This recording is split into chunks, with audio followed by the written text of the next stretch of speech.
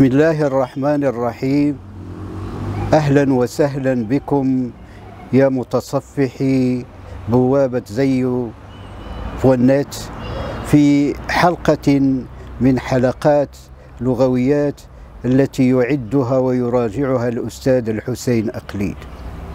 الحمد لله رب العالمين والصلاة والسلام على سيدنا محمد أفصح من نطق باللسان العربي المبين وعلى آله وأصحابه ومن تبعهم وبعد.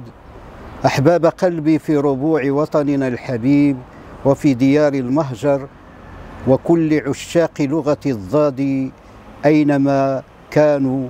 السلام عليكم ورحمة الله وبركاته. أهلا وسهلا بالجميع في رحاب الحلقة. الجديده من حلقات لغويات. يكثر في كتاباتنا وكلامنا النسب إلى كلمة رئيس. فنقول فكرة رئيسية ومتكلم رئيسي.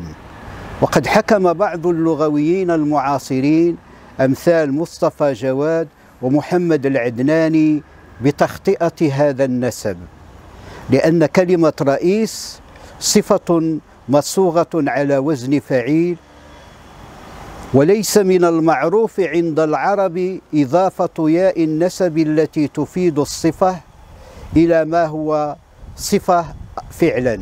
يقول محمد العدناني القلب والدماغ والكبد من الأعضاء الرئيسية في الإنسان والصواب من الأعضاء الرئيسة كما جاء في المحكم لابن سيده والتاج للزبيدي والطرائف للثعالبي والإمتاع والمؤانسة لأبي حيان التوحيدي ومجمع البحرين ومفاتيح العلوم للخوارزمي والوسيط لمجمع القاهرة ومد القاموس لإدوارد لاين معجم الأخطاء الشائعة تأليف محمد العدناني مكتبة لبنان بيروت طبعة سنة 1933 صفحة 97 إلا أن بعض اللغويين الآخرين دافعوا عن صحة كلمة رئيسي وقد استند هؤلاء المدافعون إلى الحجج الآتية.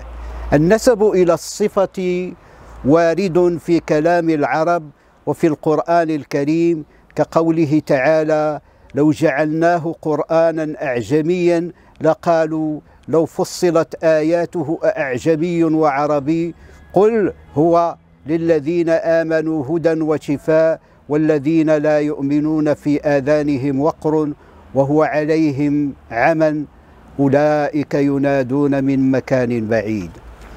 سورة فصلت الآية 43 حيث نسب إلى لفظة اعجمي وصفة وهو صفة مشبهة ومما ورد عن العرب كذلك باطلي ظاهري من النحاة من من أجاز النسب إلى الصفة. فكلمة رئيسي وردت في كلام القلقشندي صاحب صبح الأعشى وهو قوله وأما استيفاء الدولة فهي وظيفة رئيسية.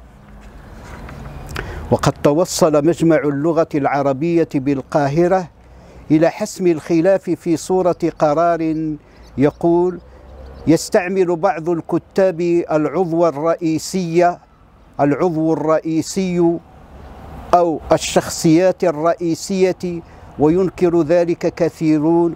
وترى اللجنة تسويغ هذا هذا الاستعمال بشرط أن يكون المنسوب إليه امرا من شأنه أن يندرج تحته أفراد متعددة. ثانيا في هذه اللغويات أيصح أن نقول للميت المتوفي بكسر الفاء المشددة وبعدها ياء أم نقول المتوفى بفتح الفاء المشددة بعدها ألف مقصورة. المتوفي فهو على صيغة اسم الفاعل من غير الثلاثي والمقصود به والمقصود بالمتوفي الله سبحانه وتعالى الذي يتوفى الأنفس حين موتها. قال الله تعالى الله يتوفى الأنفس حين موتها والتي لم تمت في منامها إلى آخر الآية.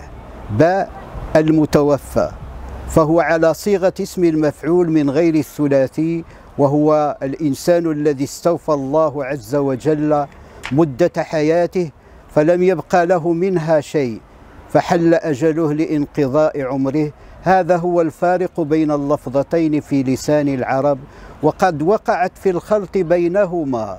لطائف نذكر منها ألف. حكي أن رجلا حضر جنازة فسأله أحد الفضلاء من المتوفي بكسر الفاء المشددة فقال الله.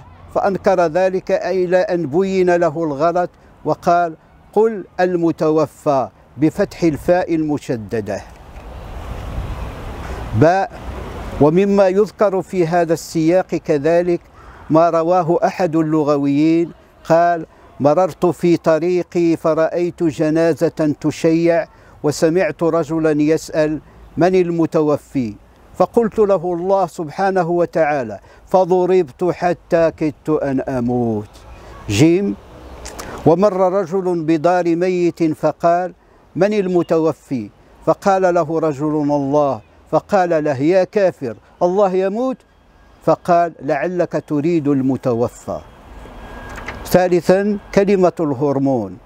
كلمة يونانية الأصل وتعني مادة تفرزها بعض الغدد الصماء فتزيد في نشاط الأعضاء التي تستقبلها عن طريق الدم وهي تعني في اليونانية التنبيه أو التحريض والهرمون مادة مؤثرة للغاية في نشاط الجسم لأن أي تقصير في إفرازها يأتي بنتائج عكسية على نشاط الإنسان وصحة قواه الجسمية. باء الهرطقة. كلمة الهرطقة معربة من اليونانية وتعني خرج عن دينه أو شك في صحة معتقده. أحبابي في دايو سيتي بوانيت أشكر هذا الموقع الجميل العتيد الذي فسح لي المجال لنشر ما أكتبه وما تجود به قريحتي.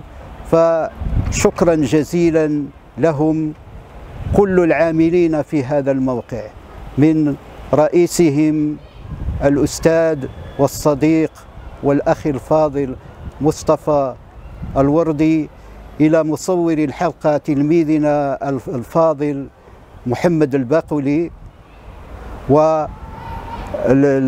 والآخرون فريد العلالي وأيضا الأخ الآخر في زيو سيتي المعروف بصوته الجميل وهو الشقراني وكل من يسدي خدمة جليلة لهذا الموقع. أحباب قلبي شكرا جزيلا لكم. إلى موعد آخر إن شاء الله. دمتم في حفظ الله ورعايته. والسلام ختامه.